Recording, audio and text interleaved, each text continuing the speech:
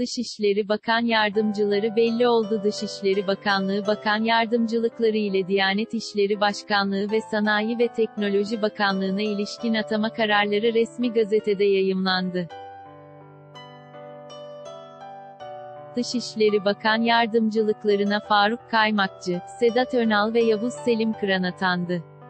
Diyanet İşleri Başkan Yardımcılığı ile Sanayi ve Teknoloji Bakanlığı bünyesindeki genel müdürlüklere de atamalar yapıldı. Türkiye Cumhurbaşkanı Recep Tayyip Erdoğan'ın imzasıyla resmi gazetede yayımlanan Cumhurbaşkanı kararlarına göre, Dışişleri Bakan Yardımcılıklarına Faruk Kaymakçı, Sedat Önal ve Yavuz Selim Kıran atandı. Resmi gazetede yer alan diğer atama kararları ile Diyanet İşleri Başkan Yardımcılığına Doktor.